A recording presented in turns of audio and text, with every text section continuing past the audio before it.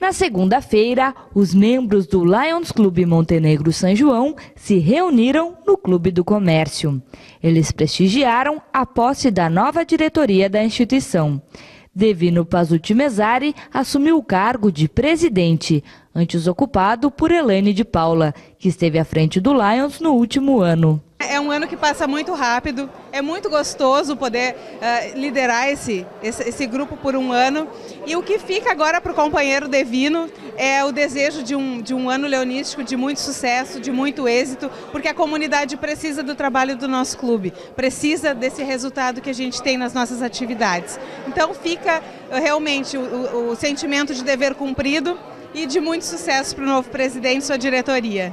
Além do presidente Devino Pazuti Mesari, foram empossados a secretária Tatiane Trindade Barbosa, como tesoureiro João Batista Voltz, como diretora social Márcia Scherer, Fernando Kindel como diretor da equipe global de aumento de sócios e Romério Heinz como diretor da equipe de liderança global. Como presidente, Divino pretende continuar com os trabalhos já desenvolvidos pelo clube. Nós temos já nossos eventos que já são tradicionais aqui em Montenegro, né? Um até ocorreu esse fim de semana. Ah, agora, dia 13 de setembro, nós temos a Noite dos Chefs, então onde que vem o pessoal do Grêmio Náutico União, União Cooks, que são cozinheiros que eles formam ilhas e cada ilha forma uma, uma comida diferenciada uma da outra. Então, dia 13 de setembro já temos então essa nova e depois temos o dia 1 de maio, que é o Galeto do Trabalhador, e depois o Reviver Anos 80.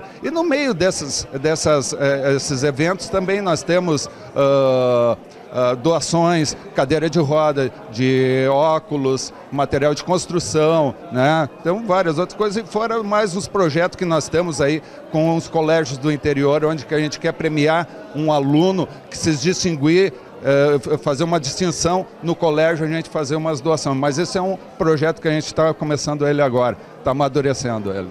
A escolha dos membros que compõem a nova diretoria é realizada pelos integrantes do clube.